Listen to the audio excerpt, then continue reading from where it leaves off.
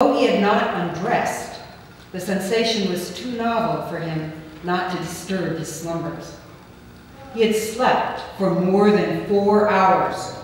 His fatigue had passed away. He opened his eyes and stared into the gloom which surrounded him, and then he closed them again with the intention of going back to sleep. When many varied sensations have agitated the day, when various matters preoccupy the mind, one falls asleep once, but not a second time. Sleep comes more easily than it returns.